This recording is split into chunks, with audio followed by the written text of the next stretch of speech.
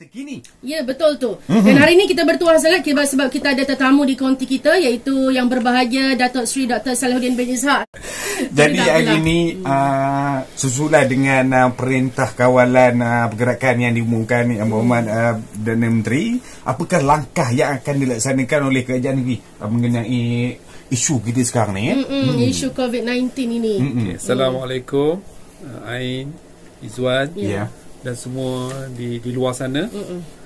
Uh, yang pertamanya seperti mana yang telah diumumkan oleh Yang Amat Berhormat Perdana Menteri, Yang Amat Berhormat uh, Menteri Besar Pahang, uh, kerjaan Pahang terus serta-merta menggerakkan uh, jawatan kuasa bencana. Mhm. Ini merupakan satu jawatan kuasa yang di, yang ditubuhkan oleh Majlis Keselamatan Negara di bawah Perintah 20 Mm.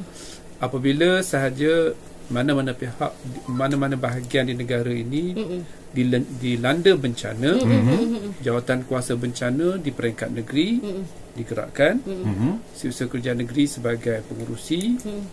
dan di bawahnya ber- bersama-sama dengan kita jabatan-jabatan penting termasuklah Polis Diraja, Ketua Mhm. Polis Pahang Mhm. dan pengarah kesihatan negeri dan semua uh, yang berkenaan.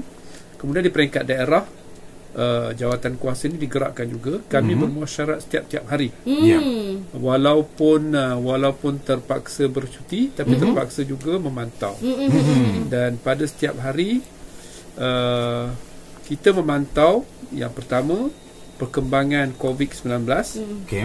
uh, sejauh mana tularannya Mhm. dan yang kedua sejauh mana orang ramai mematuhi perintah yang dikeluarkan oleh oleh uh, kerajaan persekutuan. Mm-mm. Buat masa ini uh, kita dapati hampir semua penduduk mematuhi tapi adalah beberapa kes, Kes, ah. yang kita rasa rakyat perlu masyarakat perlu memberikan kerjasama lagi. Kena peka lah kan. Kena peka. Mm-mm. Antara yang telah diputuskan Mm-mm. yang pertama sekali semua uh, jabatan kerajaan Mhm. yang tidak yang tidak essential yang tidak uh, apa nama tidak penting Mhm. uh, mesti bercuti. Mhm. Kalau kerja boleh diambil tindakan. Yang kedua, semua perkhidmatan-perkhidmatan biasa kerajaan Mhm. Uh, terpaksa dihentikan. Mm-mm. Jadi perkhidmatan-perkhidmatan lain tu- tangguhlah. Mhm. Antara perkhidmatan biasa yang kita sekat yang tak berapa tapi penting tapi tak digalakkan sangat ialah majlis kahwin. Macam Ah.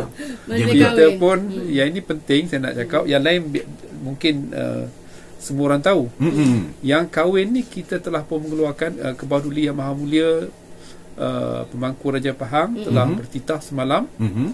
bahawa semua upacara akad nikah seboleh-bolehnya ditangguh. Mm-mm. Mhm. Kalau terpaksa dibuat juga Mm-mm.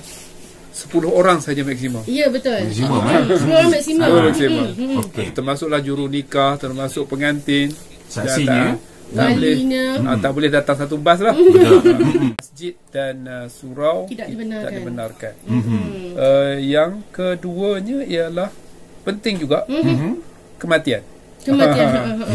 Kita, kematian tak boleh tangguh. Ya ya. Betul betul.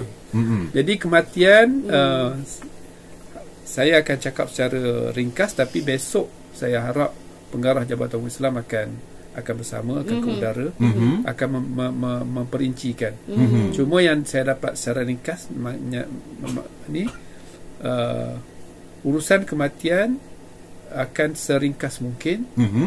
dan dibuat di masjid atau surau atau di rumah ibadat Mhm.